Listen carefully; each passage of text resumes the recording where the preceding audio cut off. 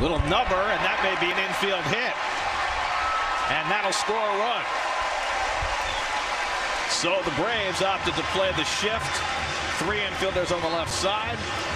Cespedes nubs one past the mound, and his infield hit drives in the first run of the game.